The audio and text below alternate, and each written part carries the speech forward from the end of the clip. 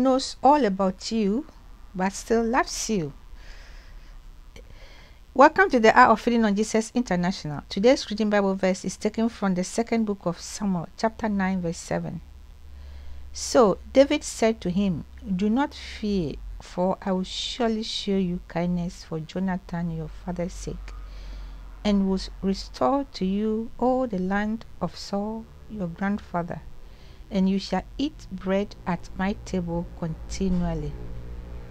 Amen. Beloved, when the people of the palace heard that King Saul and his son Jonathan had died in battle, they panicked, fearful that David was coming to seize the throne and kill all the sons and grandsons of Saul. They ran for their lives.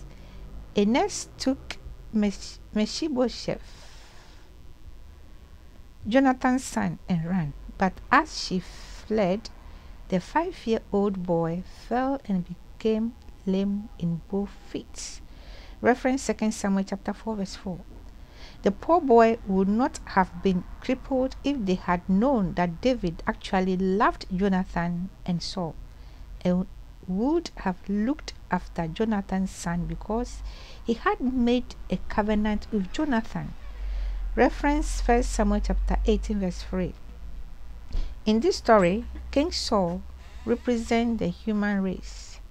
He is like Adam who sinned against God and forfeited all that God gave to man.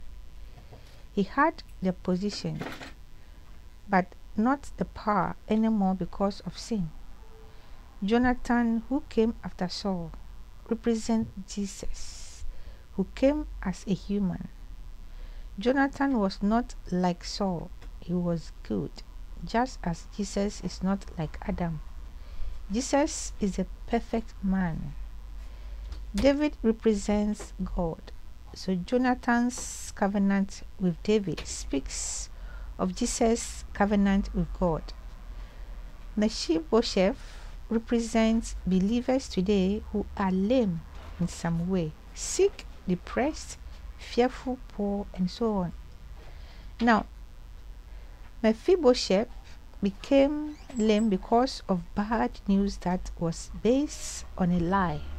Many believers today are suffering needlessly because they believe the wrong things about God. They think my sins has found me out. God is coming after me.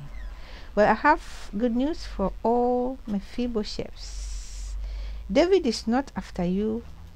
David is not after, after your life. When David looked at Mephibosheth, it was to show him kindness, to take care of him and restore to him the land that had belonged to Saul his grandfather. Likewise, God, beloved, likewise, God is not out to get you. He knows all about your sins and still loves you. That is why he sent Jesus as the payment for your sins. And because Jesus covenant with him, with God, he says to you, Don't be afraid. I will surely show kindness. I will restore all to you, and you shall always eat at my table. Amen. Beloved, share this video and bless the soul. Also, subscribe to my YouTube channel. Thank you. Amen.